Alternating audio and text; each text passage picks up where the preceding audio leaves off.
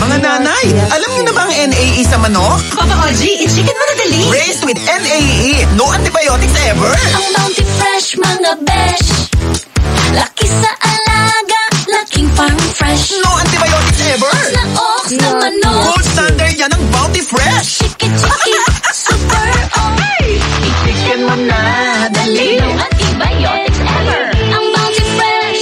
Chicken, chicken, chicken, chicken. Bounty Fresh, the one you deserve.